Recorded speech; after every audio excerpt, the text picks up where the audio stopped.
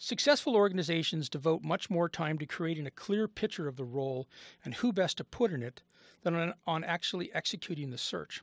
Focusing that lens entails deliberately thinking through all the requirements embodied in the role to document the needs. And this requires the use of an integrated business analysis tool designed to fully address the role and establish expectations. The first priority in every search is to acquire a deep understanding of the organization, where it wants to go, and the hurdles it will have to clear to get there.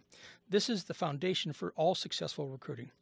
The inside out approach is built on three foundational pillars. First, the best candidates will come to an organization not for money, but because of what the organization is trying to achieve. To attract the best, you have to engage the heart. Second, the best will want to understand the organization's business goals, its challenges, its assumptions, and its blind spots. Once you've spoken to the heart, you need to speak to the head. Third, once you've engaged the head, you next need to engage the feet. The best will want to understand how the organizational culture drives making things happen and how people interact and get things done on a daily basis. To put it succinctly, to attract the best, you have to engage the heart, the head, and the feet. And to do this, you need to prepare. The best will ask all kinds of questions, and you'd better be ready to answer them. We use three common HR tools to assume nothing and take a fresh look at every single opportunity. First, a skills gap analysis of the senior team and direct reports.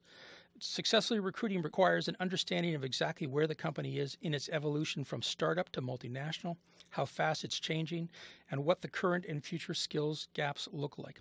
Second is a needs analysis. Here we aim to get a deep understanding of what needs to be accomplished in the role. And lastly, a job description. This is where we establish and agree upon observable and measurable performance requirements with the key performance indicators all spelled out. In step two, we focus on three activities. First, we conduct a SWOT analysis to assess the company's strengths and weaknesses, as well as the opportunities to be leveraged along the way for potential threats. Second, we help establish a search committee by choosing three to five people to help articulate what is needed in a candidate, establish a time frame, ensure due diligence is met, conduct interviews, and contribute to the hiring decision. Third, after we've helped choose that search committee, we help select a search chair. Here we help determine which member is best suited to lead unbiased discussions and has the time needed to see the project through to its conclusion.